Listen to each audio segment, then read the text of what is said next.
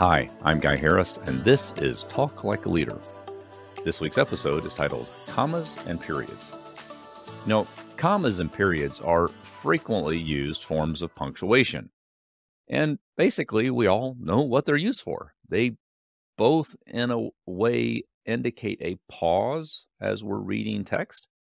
A comma is a short pause so that we can either slightly redirect uh, an idea or join two closely related or not identical ideas together or to give a break in the flow of thought to to let people catch up with where you're going that kind of thing like so it comes a, a short pause.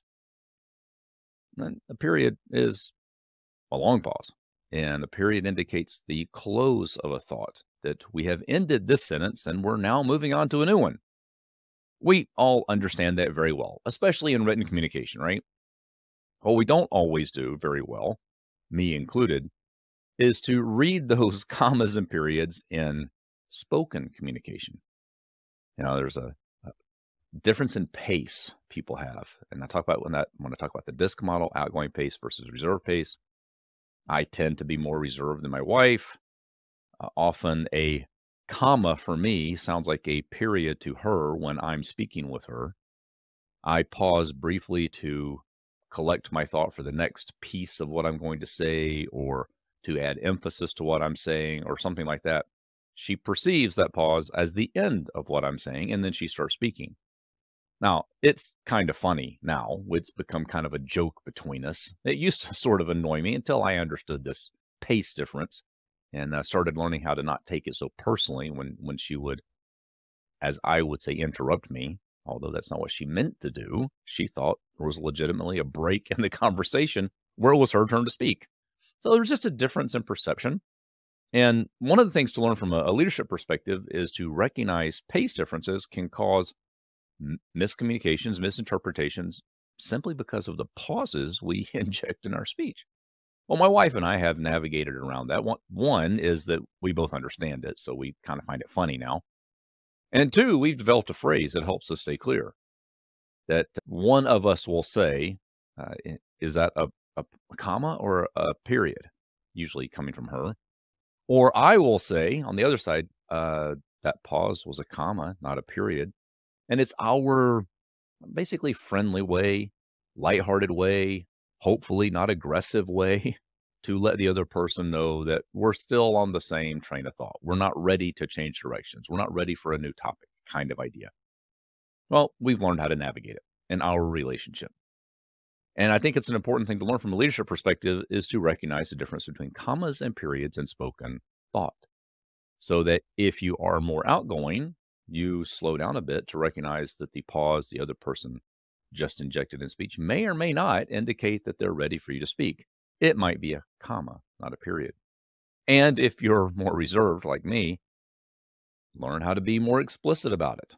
Maybe you learn how to pick up your pace a little bit. I struggle with that a bit. I'm trying to get better at it. I've gotten better over the years. I'm not perfect. You know, we have interaction differences between us and other people. I don't know that that's ever going to go away.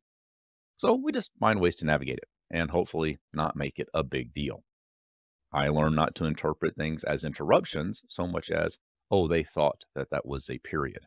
Now it's my job as a leader to either let go of the idea and let them take control of the conversation at that point, or to gently let them know that I wasn't finished in a way that hopefully isn't aggressive and condescending and rude, at least from the other person's perspective, in terms of how I reclaim control of the conversation.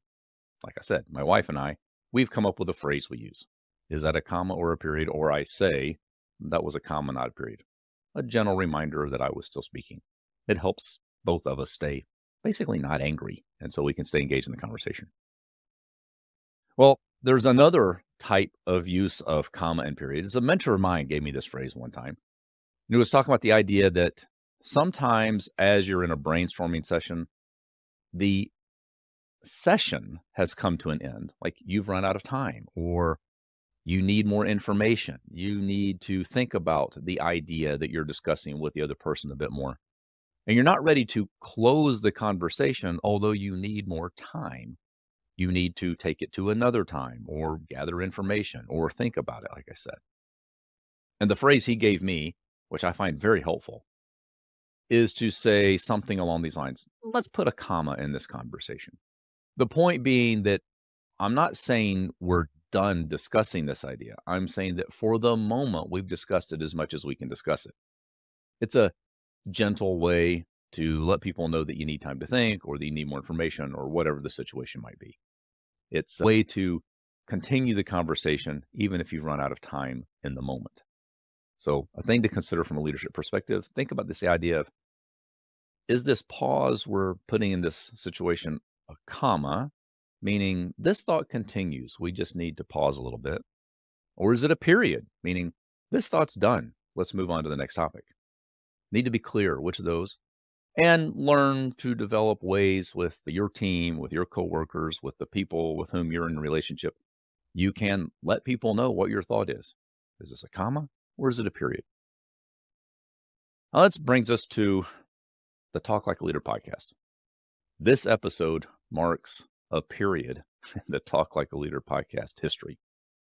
I've been doing this now for just under four years, and assuming my count is correct, I have something like 189 episodes, unique episodes. I think there's 194 or 95 weeks of publication with 189 unique episodes that have been published. And I find that it's time for me to focus my efforts in, in other ways. So this episode marks a period for Talk Like a Leader and a comma in my broader content development approach to sharing messages and ideas.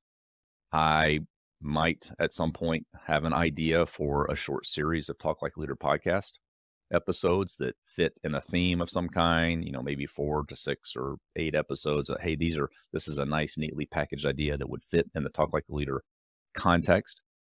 But after doing this for four years, there are other ideas I'd like to explore, other things I'd like to talk about, other directions I'd like to go that this current format doesn't really lend itself to. So you'll likely see me on uh, the YouTube channel, the DISC Personality Testing YouTube channel. There may be a few special episodes or series of Talk Like a Leader. But for now, I'm going to call this a period in the Talk Like a Leader podcast. It's time to move to a different thought.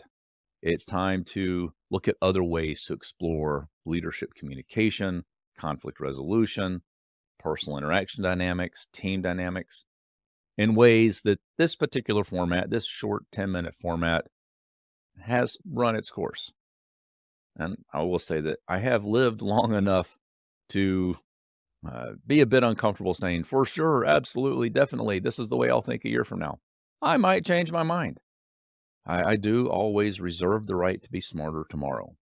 And so new ideas may come to me, new ways of using this platform might occur to me. And I'd say for now, this thought is done. So I'd like to thank you for being a Talk Like a Leader podcast listener. You can continue to, to check us out, uh, check me out on the DISC Personality Testing YouTube channel. There will be other forms of communication and information sharing as we go forward. Uh, don't exactly know what those are yet.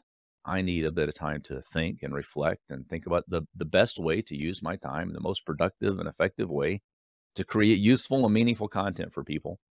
It will help leaders become better leaders, to help parents become better parents, to help people become better communicators, better able to resolve conflict, better able to navigate and manage their personal professional relationships. So there will be more. It's just that there will no longer be a weekly episode of Talk Like a Leader. It's been a, a joy being with you for the last almost four years.